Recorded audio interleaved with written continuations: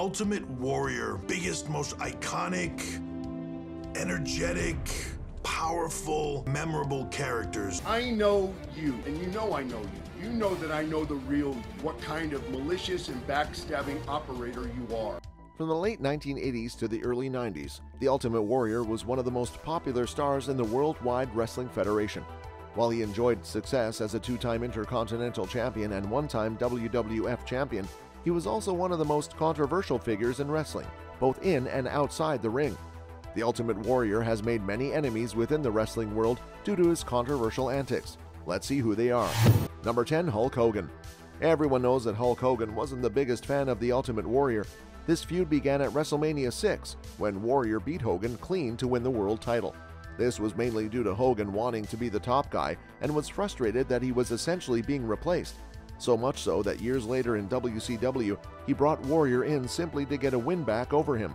This resulted in Warrior and Hogan having public barbs at one another over the next few years, clearly showing their disdain for one another. It was a different time. Hogan was the guy. Never dropped the belt that way. Where you and Hogan ended up in the ring. Every opportunity he can to criticize what I did in the business. Number 9. Bret Hart. In his autobiography, Bret Hart spoke about his hatred for the Ultimate Warrior. He recounted a story in which Warrior failed to meet a Make a Wish child backstage. A whole host of other wrestlers met the child, however, the child waited for Warrior all night, but he no showed. As a result, Hart called Warrior a coward, weakling, and phony hero for this horrible act. Clearly, Hart hates Warrior, and this incident pushed him over the edge, and Warrior, in an interview, singled out Bret Hart by name and claimed that he reached the pinnacle of the industry while his hard-working, wrestling-loving peers did not. Hogan at least was our champion. And Warrior, that's not the same thing. Number 8. Bobby Heenan. Heenan held disdain for Warrior as he was not a wrestler and only joined the wrestling business as he thought it was easy money and he had the look that Vince McMahon preferred. He recalled an incident in WCW where he was booked to be attacked by the Warrior.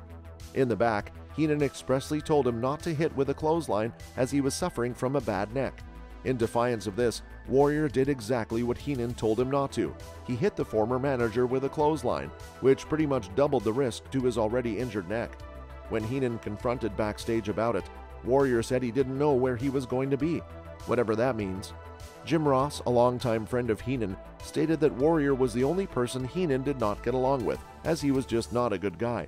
In Heenan's eyes, Warrior was not a wrestler and he was just disrespectful overall, he also took shots at his athletic ability and said that once the bell rang, it was all over for the Warrior.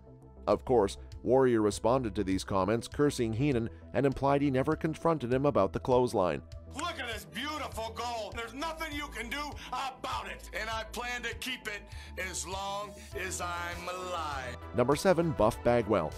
Buff Bagwell says the Ultimate Warrior rarely spoke to WCW wrestlers backstage during his short spell with the company.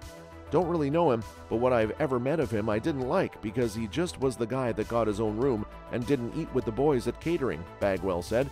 He was a big star and we weren't. Even Hogan would come out and eat with us and stuff, hang with us. I didn't like because he just was he was the guy, you know, own room and didn't eat with the boys at catering, big star, and we wasn't. Number six, Andre the Giant. Towards the end of his career, Andre the Giant was in a lot of pain and could barely move. However, he continued to wrestle and was doing the job for Warrior on house shows. The favor wasn't returned from Warrior as Andre complained of him being extremely stiff in the ring. With the pain Andre was in, this was a spiteful thing for Warrior to do. As a result, Andre made sure he got revenge by putting his fist out and knocking Warrior out cold after he went for the clothesline spot. Number 5. Triple H. At WrestleMania 12, Triple H was facing off with the Ultimate Warrior. It ended up being a squash match for Warrior not selling a pedigree before beating Triple H. The game was furious with this reportedly calling Warrior unprofessional. However, in recent years, Triple H has praised the Ultimate Warrior and thanked him for the Mania match. Clearly, Triple H has buried the hatchet due to Warrior's death, although it was clear he did not like him when they worked together. Triple H spoke about being linked to the Warrior during their first encounter 20 years ago and being reconnected right before his untimely death in April 2014. It was a mind boggling situation to me, Triple H told Coach about their history. Knowing where it ended up, with his passing and everything, because we didn't know each other, and it was an odd beginning. We didn't get along necessarily. Ultimate Warrior, biggest, most iconic, energetic, powerful powerful, memorable characters. Number 4. Rick Rude Rick Rude against the Ultimate Warrior was a classic rivalry that defined the late 80s and early 90s just as the WWE was looking for a new star to replace Hulk Hogan. While these two had contrasting personalities and some serious friction between the two men went down due to different professional outlooks, they produced some great matches during a time frame that needed an antidote to the Hogan era of dominance. Rick Rude and the Ultimate Warrior's rivalry began a few years earlier in 1986 in the renamed World Class Championship Wrestling. Accounts state that Warrior was working stiff in the ring and Rude was not impressed, but being the professional, he dealt with it in the back after Warrior had commented that he was the Warrior and he could work stiff if he wanted. This ultimately led to an encounter after the match, with Warrior being KO'd by Rude, a legit tough guy who was notorious for starting and ending fights. Because of this incident, it is claimed Hulk Hogan refused to work with Rude at any point in the future, citing he was dangerous. This may have ultimately capped Rude's future progress in the WWE. Number 3. Jake the Snake Roberts Hall of Famer Jake Roberts revealed how Warrior once insulted him in his dressing room when he went to ask for a shot at the WWE Championship. Vince McMahon personally told Jake the Snake Roberts to talk to the Ultimate Warrior. McMahon wanted Warrior's go ahead to begin a program between the Snake and Warrior for the WWE Championship. However, their encounter didn't go as Roberts thought it would. Roberts recounted Warrior's dressing room incident. The Snake said he wasn't too thrilled with the idea of asking Warrior permission to work with him and was upset at the way the former WWE champion reacted.